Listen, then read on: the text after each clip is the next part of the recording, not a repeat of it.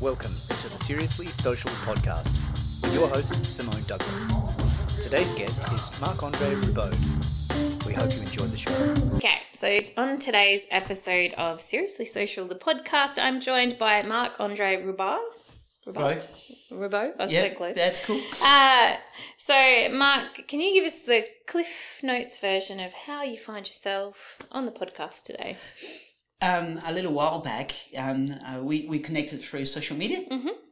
And you, you posted this thing about, uh, you know, um, there's always someone on the list that you've always want to meet, but you've Yeah. never quite um, taken that opportunity. And I went, I, I wrote the, and I said, I've got to take the opportunity. And I uh, uh, sent you a, a, a, Yeah. a request to have a chat. absolutely. And we had a, and we connected Mm-hmm. and this a while ago and, and we've, I've uh, Chatted ever since. chatted and I've come Yeah. to some of your networking events. yeah. And I understand the importance of um, networking. Mm-hmm. It's something that I've discovered later in life rather than Mm. early, the importance of it.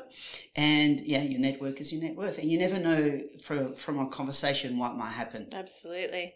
Uh, with your clients, because you're obviously in business coaching and Yep. helping business owners navigate what is a very interesting environment currently. Absolutely. Uh, you know, what kind of level of pandemic fatigue are people suffering from right now? A huge amount. Mm. I think uh, there's a, there's a, here, interstate, overseas, people are just at enough. Mm. Now, there's always been the two camps, you know, the people that connected to the concept that, you know, the virus is real, Yeah. and the other people who connected it wasn't real and all that kind of dialogue. yeah. But we're all getting caught up in it. And I think, you know, by and large, Australia did really well early on.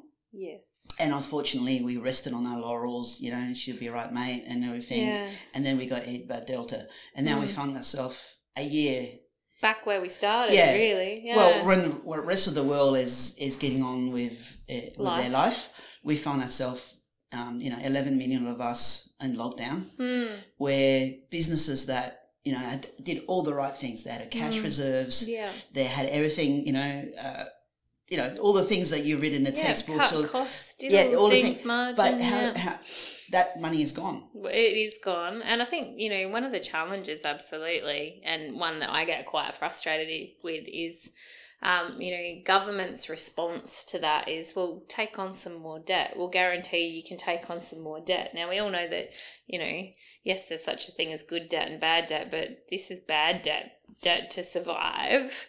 Um, when your business model's not flawed, but Yeah. the restrictions are breaking your business, it's really difficult. What kind of advice would you give to someone, you know, particularly in the hospitality sector right now here in South Australia, around, um, you know, they're trying to decide whether they go for another loan, take on some more debt?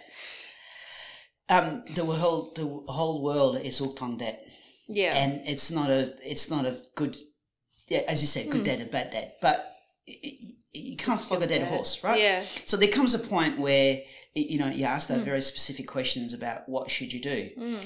and that's something that you really need to have a good good look at your finances Mhm. get lots of um, great advice you know can you Yeah. renegotiate your lease Yeah. all the things that you've you, you might not have done but you need to do all those Yeah. hardcore conversation and at some point you, You know at the end of day yeah, it has to be a return on investment. Mhm. If you can't see a return on investment, either short, medium, or long term, then you really need to make that decision. You know, Yeah. um, Well, and they're not insignificant numbers for some of these operators too. Like you know, if you're talking a hundred thousand dollars, you know, yeah, um, and let's say you know, for the normal general public that you gets paid a wage, they go, oh, it's a hundred thousand dollars paid off over however many years. Um, most of these loans are three year terms, the ones that they're actually making available through the government Yeah. scheme. So that's $100,000 paid back over three years. You'd have to have a pretty good business to be able to pull that straight back out, I think. And I think that the key on the fundamental in the um, hospitality in other industries is the unknowingness. Yeah. It's the- if okay, if you have a, a you know, borrow money and you you've got a plan and you know Mhm. exactly okay, I need to do X Y Z, I Yeah. need to do this and this, and you can see that that you know there's going to be a return for investment. Yeah. That's fine, great. But at the moment, can you operate? Mm. When are, when is the next uh, lockdown? When is next variant rocking? Who's going to be vaccinated? Um, are you cli- uh, are, are you going to be forced to have a uh, you know Yeah. uh, vaccinated policies for people to come in? How many of your clients are not going to want to do that? You know, Yeah. and and there's also a, huge level of fear in some people who don't want to be uh, in in spaces with lots of people. Yeah, that's true. It's it's so- so there's so many complexities Mm. that makes those kind of decisions really really challenging. And it kind of creates like I often say, you know, we're we're building a risk averse society now. So like what we're in right now, our kids, no, you know, they're not going to go jumping from business to business to business. They're not going to jump from, you know, job to job. Whereas, you know, in my generation was, you know, like, oh, you can have eight careers easy. You know, it's the land of opportunity. You do what you like. I think we're going to see a very like stable workforce moving forward because people aren't going to want to risk. true. And, and you know, uh, some of the jobs that the future generation are going to have, they're not even created yet. Yeah, very true. And, and we've got this entire thing coming out with you know demographics, Hmm. artificial intelligence. There's so much in the space. Yeah. There's which makes it really hard for business, some business to you know. Do I take the loan? Do I not take the loan? You know, yeah, exactly. And and it, it, for a lot of businesses, unfortunately, it's it's operating with one arm tied behind your back, Mhm. and and I, you know, I would be really reluctant to borrow money um, in that kind of environment Yeah. because there's a lot of degree of uncertainty. But having said that, people are always going to have want to go out and have a meal. People True. always are going to um, break bread, Yeah, uh, and because it's a human, uh, deep human connection. absolutely. It's a long established tradition. I think know- the challenge is going to be, um, you know, and I talked to some of the Hospital Owners Collective members about it. Um, the landscape, the hospitality landscape, is going to be forever changed. There are going to be some long term players, multi generational family businesses that are just going to, you know, very shortly have to make those difficult decisions. And, you know, I have conversations with them and they're like, oh, you know, I think next week I have to fire my 30 staff. I think, you know, Yeah. it's awful.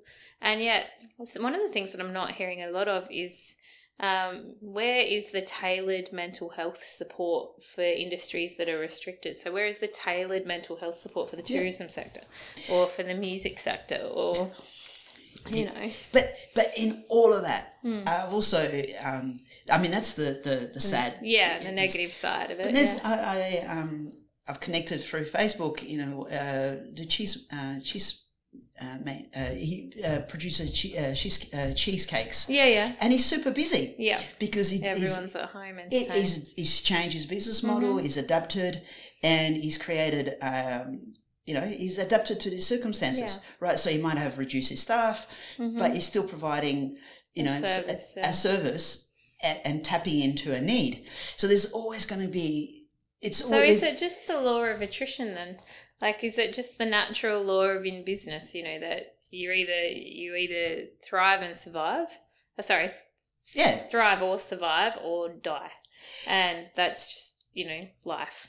Well, I mean, if we look at business stats, you know, Hmm. uh, uh, the business failure rate for the business in the first three years is is horrendous, Hmm. regardless of pandemics or, or not. Well, and even coming up to the first five years, like I'm fascinated by, and I, I kind of, I think that the five year thing, I think comes down to apathy. I'll be honest. I was Yeah. having this conversation with someone this morning. Um, apathy is part of the human condition, but Jesus, in business, it can like kill you pretty quickly. Yeah, Um, what are some of the you know tips and tricks that you have for business owners when it comes to looking at your business with fresh eyes and, and navigating away from that apathy of we've always done it that way. This is just what we do.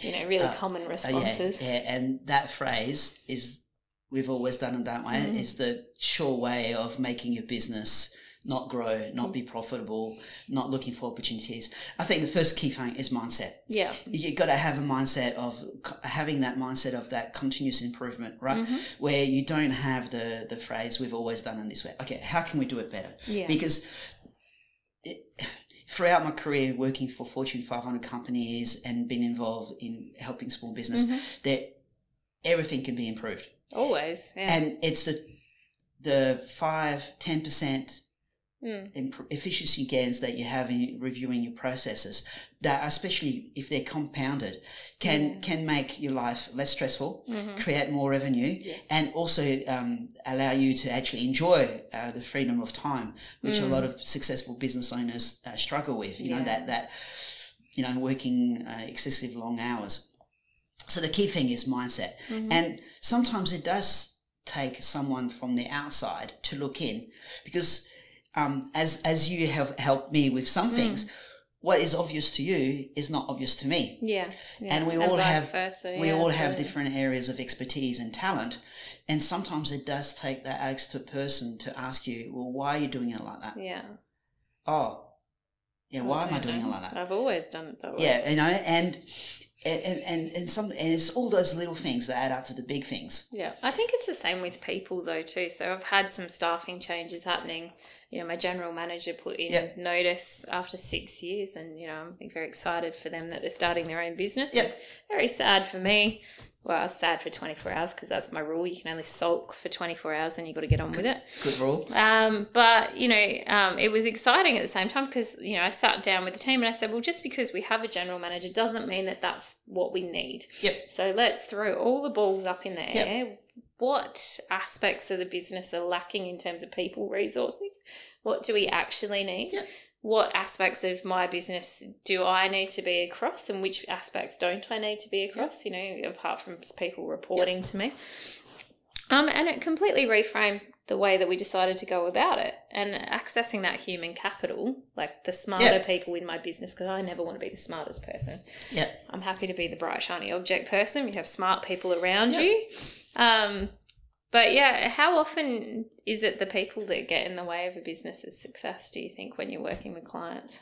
um, a lot A lot. a lot and, and you know um, that will never work um, no we don't do it like all those Mm. kind of uh, typical uh, mindset phrases Yeah. your, your go-to thing and that's usually um, you know out of fear yeah.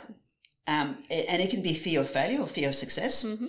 It's amazing how many people actually fear success That's true. because they're so used to their current lifestyle And they have a mental ceiling about how Yeah. successful they're allowed to Uh, be. What happens if I become really successful? Uh, am I still going to have the same connection? Am I still going to have the same friends? Mm. Um, new challenges, new dynamics. Yeah. The conscious unconscious mind works in really funny ways. That was like for me with social media AOK, you know, when we started getting to a point as an agency where I didn't actually know every single client, that I hadn't actually taken, you know, an initial sales meeting with every Yep. single client and I had to let that go. You know, part of me was like, but that's who we are. This is how we do it. And then I was like, well, no, because that's who Tamara is as well. It's how she does it. That's who this. Yep. I've taught them all how to do it the same way. Yeah.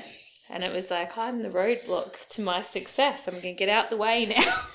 And, and, and I think that's the, you know, I, I see the, uh, the phrase business owner and entrepreneur mixed together. Mm-hmm. yeah. Now, an entrepreneur does not necessarily work in their business. Mm, true. They create a business yeah. and then they go, right, now I've got other people who work for me. I move out of that business. I Mm. Still control it. Yeah. but I don't do the day to day. And I'm going to create another business somewhere else Yeah. because my end goal is to have lots of them. Lots Yeah. of different businesses, right? So I, I end up working less and earning more. Yeah. And that also, it, it starts with that mindset. Yeah. It, that fundamental, where, do- what do you want to do? Where do you want to be? Where are you now? Mm. And what, you know, what's that gap? And Yeah. how are you going to close that gap? Yeah, and that's and, true. and are you going to bring people from outside to help you close that gap? Be you know a great bookkeeper, a great marketing agency, Mm-hmm. Yeah. Mm. a great coach, you know all that kind of stuff. Or are you going to try to do it all by yourself? Now, if you're going to do it all by yourself, it's you Mm, not might get, get there, but it's going to be it's going to be hard. Well, you're going to work long hours Yeah. if you do it that way. Absolutely. And you're proof and testament Mm. of that mindset where you have different businesses, Mm-hmm. um, you structure them. I, I can imagine that you're in control of all of them, but you don't necessarily have to be um, in, them. Yeah. in the engine room Yeah. uh, knowing exactly what goes on, right? No. You're the captain of the ship. Yeah. You're controlling it. You know exactly where the ship is going, yeah. you know, navigating the, uh, the troubled waters, the calm waters, but you're in control. Well, and I often say, you know, like what, that um, a good business owner, a smart business Yeah. person, um, sees the potholes in the road and steers the car around them. Do you know what I mean? So if you're down here like looking looking in the car, you're not seeing the potholes coming. So it's, you've got to be able to take your head up. Absolutely, and it's the classic. You know, the difference between uh, working in and working on your business. Now, I see so many business owners, and my parents were a classic example where they spend most of their time working In in the business, where extremely long hours. Where the magic happens when you work on your business. yeah, absolutely. when you start you know looking at you know why you're doing things you, Mm. you know where can i find those extra pot of gold yeah, you know the, the extra uh, revenue Uh, how can yeah. Mm. i make f- less stress less overwhelm how can i make things easier for myself you know is is the is is now the time to bring other staff members into the mix yeah. is it the time for growth And I think that's a really good spot to end on is at the end of the day, you really need to look up from your business. If you're struggling to look up from your business, then you can find Mark. All of his contact details are going to be in the show notes on the podcast. Reach out to him. He can talk to you anywhere in the country. It's the beauty of Zoom. Mark, thanks very much for joining my pleasure thank you so much for the opportunity to have a chat hope you enjoyed this episode of Seriously Social. Check our website for the latest news, show notes, and for details of Simone's latest book, Confident Networker. Explore the About tab at socialmediaaok.com.au.